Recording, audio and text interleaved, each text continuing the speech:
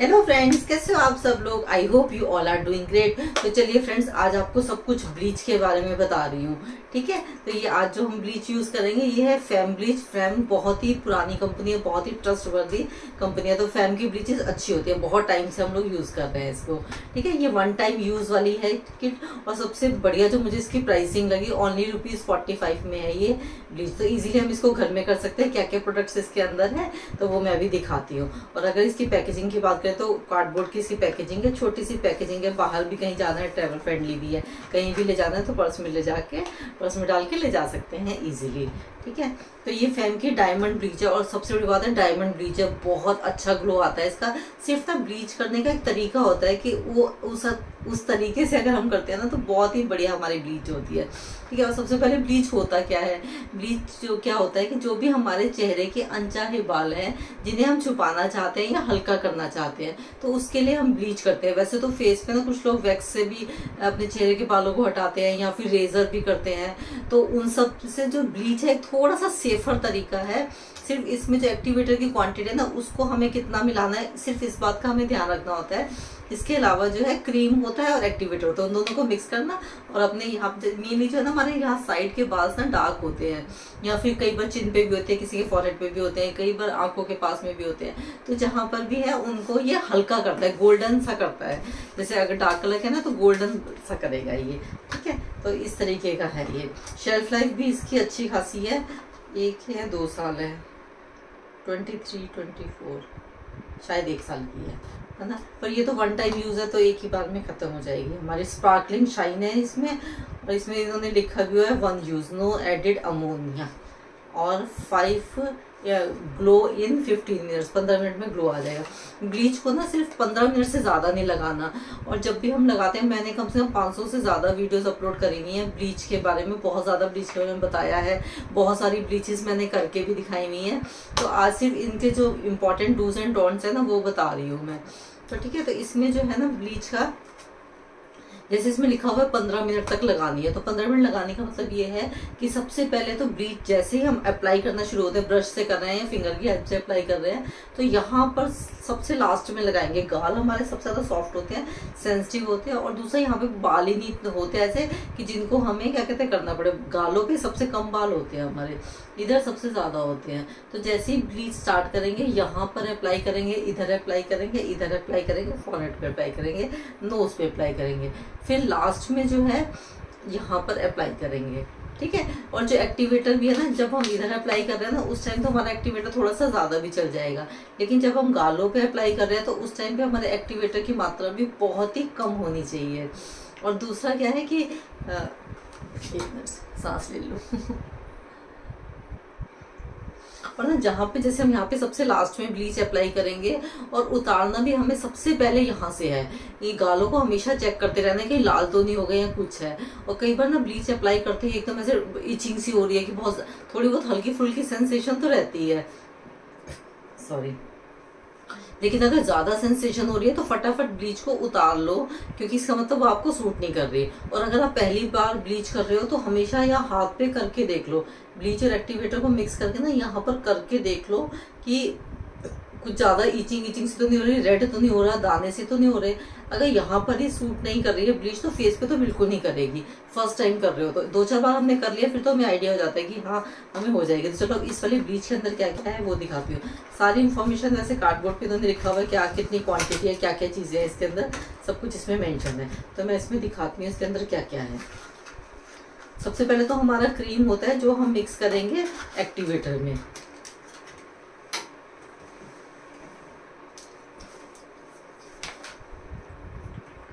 ठीक है तो ये वन टाइम यूज़ के लिए एक ही बार में हमारे फेस पे, गर्दन पे आगे पीछे अच्छी खासी लग जाएगी, जितनी क्वांटिटी है इसमें ये।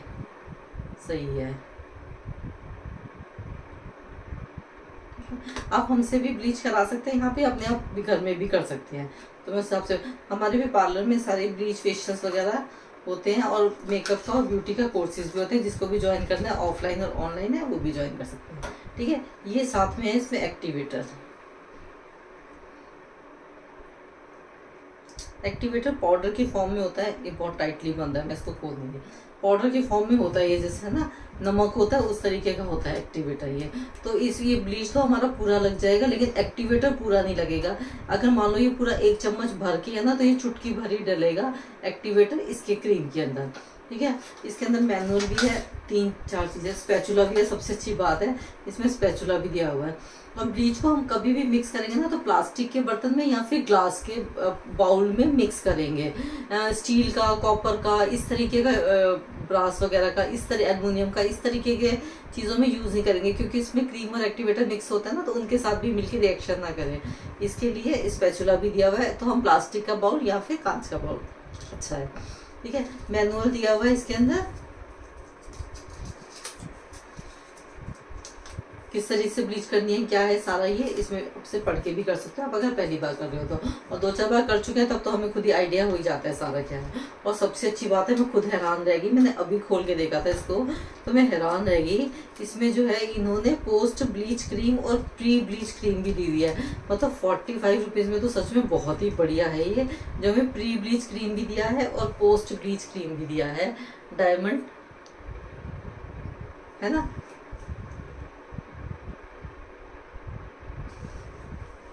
भी चेयर थोड़ी आगे कर लेते हैं।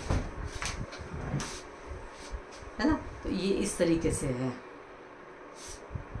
तो बहुत ही बढ़िया। क्योंकि ना कई बार हम अगर फेस पे ब्लीच करते हैं ना तो उससे पहले अगर हमने ये प्री ब्लीच क्रीम लगा लिया, ये सबसे स्टार्टिंग में करते हैं, अच्छी तरह से मुँह धो के आ जाएँगे फेस वॉश कर लेंगे, उसके बाद में प्री ब्लीच क्रीम लगाएँगे, हल्की सी इसमें मसाज करेंगे, ठीक है? उसके बाद में उसको चाहो ज़्यादा सा ऑयली सा लग रहा है तो हल्का हल्का सा हटा लो, नहीं तो उसको लगा रहने देंगे। इससे क्या होगा कि जो ब्लीच की सेंसेशन होती है ना, वो इतनी ज़्यादा नहीं होगी।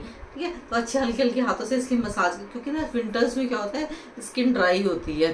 स्किन ड्राई होती है ना, उसमें अगर ब्लीच करेंगे ना तो बहुत ज़्यादा ऐसे, जैसे फटी हुई स्किन पहले हो रही है, ऊपर से हमने ये एक्टिवेटर वगैरह लगा लिया तो बहुत चुपता है। तो इससे स्किन को थोड़ा सा सॉफ्ट कर देता है, ताकि ईजिली हमारा ये हो जाए। ठीक है उसके बाद में ब्लीच करने के बाद में भी हमें एकदम धूप में नहीं जाना चाहिए, नहीं तो एकदम सन की रेज हमारी स्किन पे पड़ती है तो फिर वो नुकसान करता है। तो इसलिए इन्होंने पोस्ट ब्लीच क्रीम भी दिया। ब्लीच करने के बाद भी हल्का सा नरिशिंग क्रीम की तरह ये होगा। इससे हल्की हल्की सी मसाज करनी है, बस इसको रहने देना है, फिर साफ़ नहीं करना है इसको। ठीक है? ब्लीच ब्लीच और एक्टिवेटर जब हम मिक्स करेंगे तो सारा साफ़ कर लेंगे अच्छी तरह से। उसके बाद भी ना फेस ब्लीच करने के बाद भी अगर किसी को कभी लाल, जो हमें ध्यान करने वाली बात है, अगर कभी किसी को लाल लगता है ना तो पपीता one of the best option है, फटाफट पपीते का पीस या पपीते का छिलका जो है, उसको अपने फेस पे रब करो। आइस वगैरह को गर्मियों का टाइम है तो आइस को भी रब कर सकते हैं, कपड़े में रैप करके टिश्यू पेपर में सॉफ्ट सा वेट टिश्यू पेपर जो होते हैं ना, उसमें रैप करके भी हम उसको मिक्स करके मिक्स करके कह रही हूँ। कपड़े में लपेट के अपने फेस पे आइसिंग मसाज भी कर सकते हैं। एक इस तरह के छोटे छोटे आइस रोलर्स भी आते हैं, उससे भी आइस से मसाज कर देंगे तो एक ठंडा सा कूलिंग इफ़ेक्ट आएगा। ये और जब हम ब्लीच को साफ़ भी कर रहे हैं ना तो ठंडे पानी से साफ़ करना है, गर्म पानी से साफ़ नहीं करना। बहुत ही विंटर्स है तो ल्यूकोम वाटर यूज़ कर सकते हैं, लेकिन समर्स में तो हमें ठंडे पानी से ही अपने फेस को वॉश करना है। तो इस तरीके से हम कुछ चीज़ों का ध्यान रखेंगे तो ब्लीच का बहुत ही सही रहता है। इफ़ेक्ट पर इसको ना ब्लीच को बहुत ज़्यादा नहीं करना चाहिए। मैं अगर बात करूँ पहले तो मैं तीन महीने में एक बार करती थी। अभी तो मैं साल छः महीने में एक बार, अब मैं, अब मेरा बहुत ही कम हो गया है। अब मुझे को लगता नहीं बहुत ज़्यादा ज़रूरत है।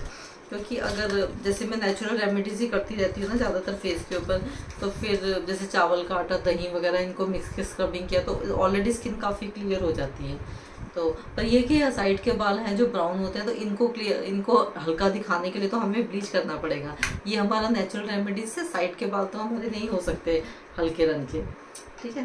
तो ये है। स्पेचुला से इसके अंदर से भी निकालना। और अगर वैसे तो स्टोर करने का है नहीं इसमें सीन क्योंकि एक ही बार का, एक ही बार में सारा निकाला मिक्स करा, लगा लिया। कई बार अगर हम स्टोर भी करते हैं ना ब्लीच को तो एक्टिवेटर और ये जो है आपस में मिले हुए नहीं होने चाहिए। अगर मिला के स्टोर करके रख दिया तो खराब हो जाएगी वो ब्लीच मुझे इसको यूज़ भी नहीं करना चाहिए बाद में। ठीक है?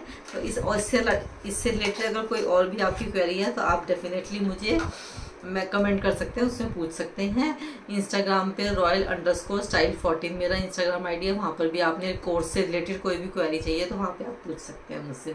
हमारा ब्यूटी कोर्स है मेकअप का कोर्स है और फुल फुल ब्यूटिशन कोर्स है, जो भी आप ज्वाइन करना चाहें इजीली ज्वाइन कर सकते हैं। बहुत ही कम रेट्स में और बहुत ही बढ़िया तरीके से पूरा फुल ट्रेंड करके, इतना बढ़िया ट्रेंड करेंगे कि आप अपना पार्लर भी स्टार्ट कर सकते हो, अपना फ्रीलांसिंग कर सकते हो और इसके अलावा अपना जॉब भी कर सकते हो। तो बहुत ही बढ़िया।